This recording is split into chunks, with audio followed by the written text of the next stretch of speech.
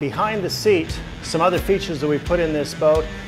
Quick access right behind the seat. It's another place where you can store in spare battery. Our tank well area, we've designed this to be able to be multifunctional, uh, to be able to put in melt crates, black packs, uh, just other gearboxes that you may have. It's conformed to be able to adapt to whatever you have and to be able to secure it in there either with straps or, or using the bungee.